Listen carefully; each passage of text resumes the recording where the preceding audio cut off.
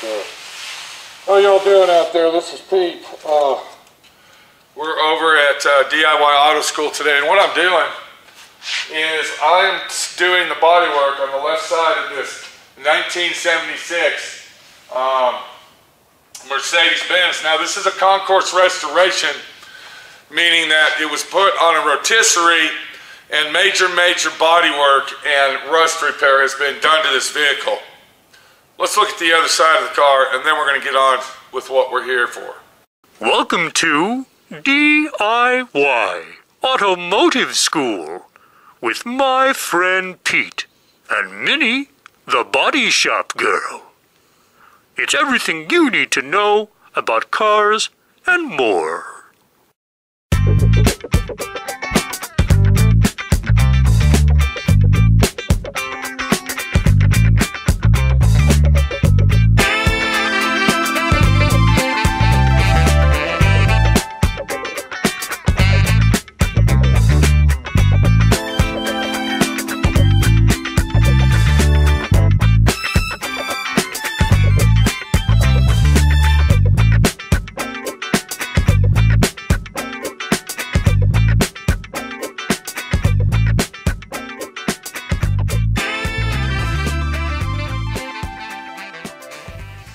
So once again, this was a major, major restoration job, and you can kind of see by what's going on over here, all the body work that needed to be done to it.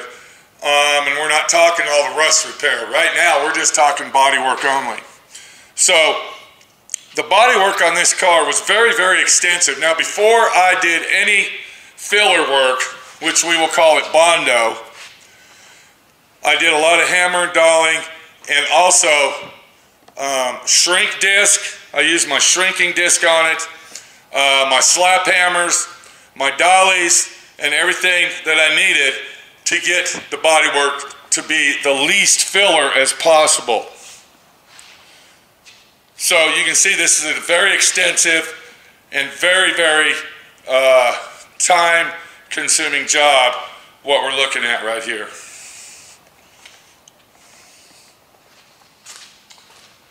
So what I'm going to try to do and try to explain to you, and this also applies not just to automotive restoration, but also automobile collision, paint and body.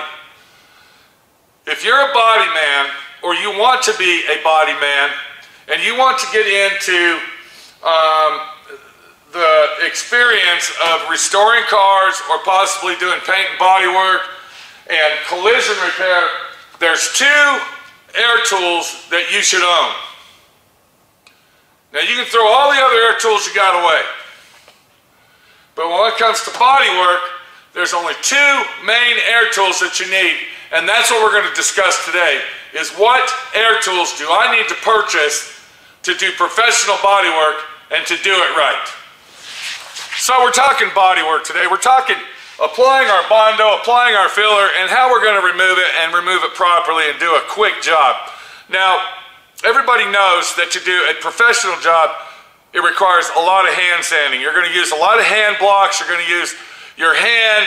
You're going to use uh, flex blocks, hard blocks, soft blocks, and, and to do it the right, right way and to get it accurate, yes, it's going to take a lot of hand sanding to do that. That means we're not going to use air tools. But your initial body filler, your initial breakdown, your initial sand job is going to require that you have an air tool. And the air tool that we're talking about, and I'm going to tell you about two of them, you can let all the other ones go. But there's two main air tools that you need, and you can see them right here behind me, and we're going to go over them, and I'm going to be specific on each one. So the first one we're going to talk about is our air file. This is a high production, high quality professional air file. This is made by a company called Viking.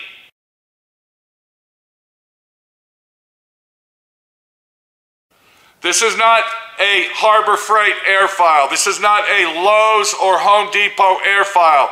This is not a Chicago Pneumatic air file. This is a Viking. I have owned this air file for approximately 20 years.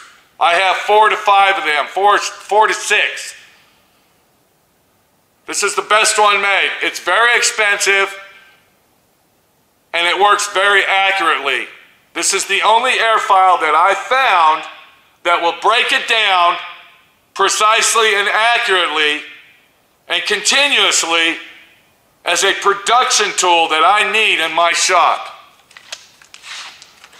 The paper that you use on this particular airfile is a stick-on style paper, all right? And I believe this is 16 inches long. This is a 16 inch airfile. The maintenance that is required on this airfile is that you should go ahead and oil it daily. Now on this particular airfile, there's a little oiler right here. All right, you can see that. But I never oil it there. What I do is I go ahead and I, I put four to five drops of oil inside the air inlet, and then that will oil it thoroughly. Now you can see by looking at my air file, I use my air file a lot. All right, this is approximately a 200 to $300 air tool.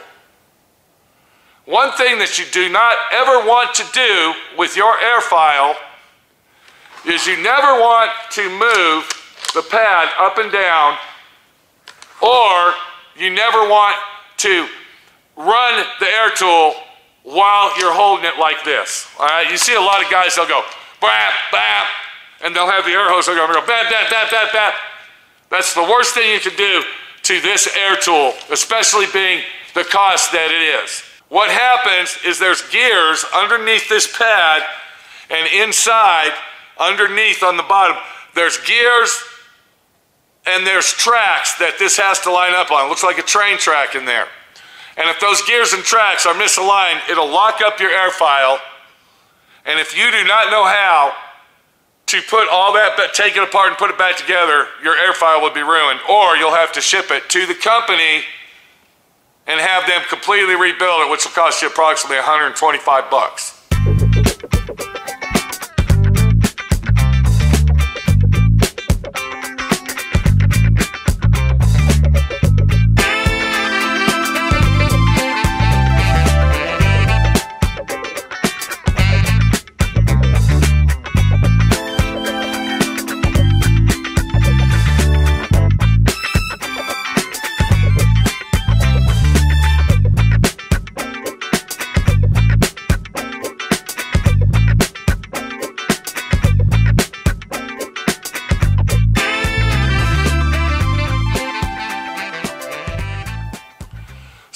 Tool right here is our number one tool that we will need to do major body work, minor body work, any type of body work that we need to do where we have to apply Bondo, I'm going to call it Bondo. We're not going to get politically correct here and say filler. Okay, it's Bondo. That's what it is. You can sit there and say Bondo is a brand. I don't give a shit what you say. To me, this is Bondo, all right? When you're using your airfile, you can use multi grades of sandpaper on that airfile. The pad on this airfile should be replaced every year. The reason I say that is because the pad will start to wear out, it'll start to cup, and it will not be a super flat surface that we need to do precise body work on our Bondo. So the pad on this should be replaced every year. Matter of fact, I got a new pad over there. Let me go get it. I'm going to show you exactly what we're talking about. What you're looking at right here, this is an airfile pad. Okay? This is a brand new one that I have purchased. I replace my airfile pads once a year and the brand that we have right here is a 3M Stikit pad. Now, I'm not too fond of this type of a pad, but this is the only one that I can find online at a reasonable price. If we look at the pad that's on the air file, you can see that this one has a texture to it and it's black. This one does not have a texture and it's perfectly surfacely flat. Now this pad is a good pad to use, but if you're doing a production line body work or major body work like we're doing on this, that pad right there, that pad surface is the best surface to use. Like I said, I bought this one because it was 10 to $15 cheaper and it still works very well. I'm just fond to this one more than this one.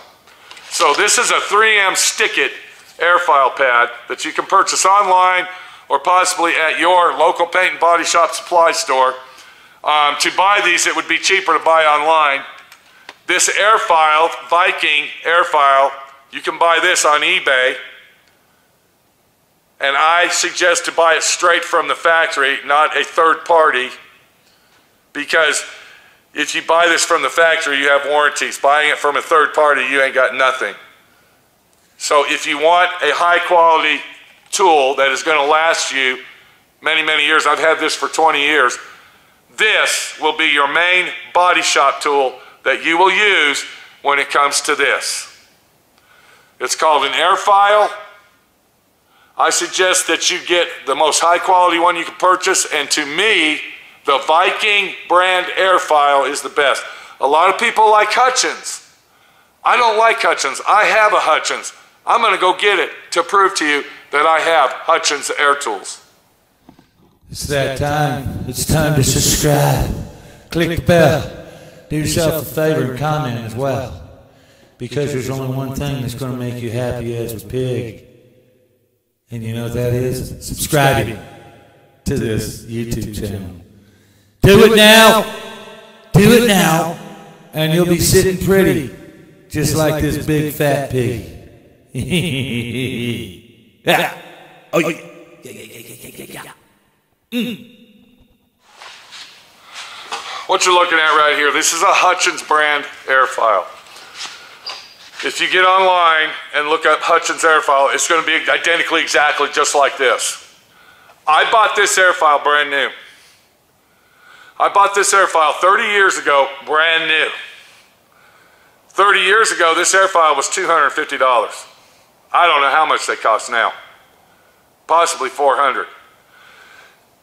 At the time, and still possibly today, Hutchins air tools are considered the number one air tool for doing body work and restoration, collision repair. My personal opinion is this is not a production line airfile. This is a finish airfile.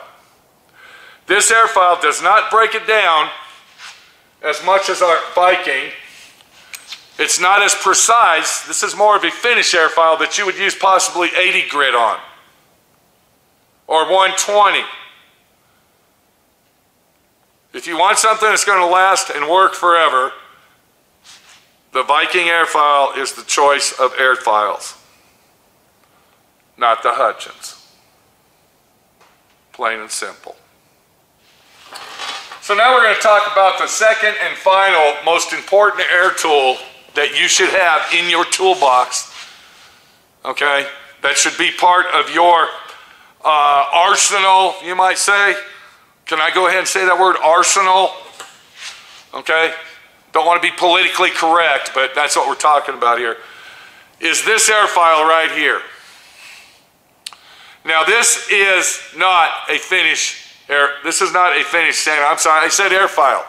I'm talking DA sander, dual action dual orbital. Okay, this is an orbital dual. I'm going to show you. Do you see that in there spinning? Okay, that's one, and then that's two. So this is a dual action orbital sander. But this is a long throw. Now what I'm saying is there's a difference. There's a short throw and there's a long throw. The long throw is not a finish sander. The long throw is a Bondo breakdown mold, get it down to where you want it, and do your body work type sander. This is a production line DA sander. I purchased this, and I have two or three of these. I purchased this probably 30 years ago, and it still is like brand new. Now, there are parts that will wear out on your sander that need replaced. And the main part is if you look right inside here where my finger is pointing, that shaft, okay, and I can feel this one's just a little bit loose. That shaft, okay, that shaft is what goes out on these. Now, this company is still in business, or it was bought out by Dynabrade. This is called National Detroit. This is the number one standard DA sander in the world. This sander right here, you can use everything from 36 grit all the way to 320. Now, before they came out with the palm hand sanders, okay, the short throw, and let me go get one and I'll show you what I'm talking about. Okay, I got one right here. This is a Finish short throw palm sander. Now, what the difference is here is this one, I don't know if you saw the throw on this. Let me go ahead and show you that one more time. Okay, when I'm talking the throw, I'm talking about this right here. You can kind of see, you can kind of see how, how it throws itself. Okay, it's offset, it throws itself, it's a long throw. See that? Bam, bam, bam. All right? And when we take this one, you can barely even turn it because this is a short throw finish sander. We're not talking about that today. That's not one of the most important air tools we need, but this one is. Because this is a production tool that's going to last you years and years and years, and it's also going to do this job and it's also going to do this job. When I say this job, I'm breaking this down. This is my first layer of Bondo. I don't want that on there. What am I going to do? I'm going to take my long throw. I'm going to pull off the 80 grit. Okay, I'm going to do that. And I'm going to put a piece of 36 grit on there. And now I'm going to form and mold my bodywork with a DA, long throw DA sander do you, am I making sense here? And then I can come back, and once I got all my body work done, I can put some 180 on this sander right here, and I can quickly go over that to get all the deep scratches out, and it is primer ready. So out of all the tools that you might own,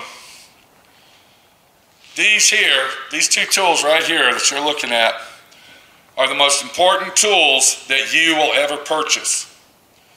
Don't be a cheesecake. Don't buy cheap. Don't buy deals. Get the professional, high quality situations to do the job right. Because when it comes to these two air tools right here,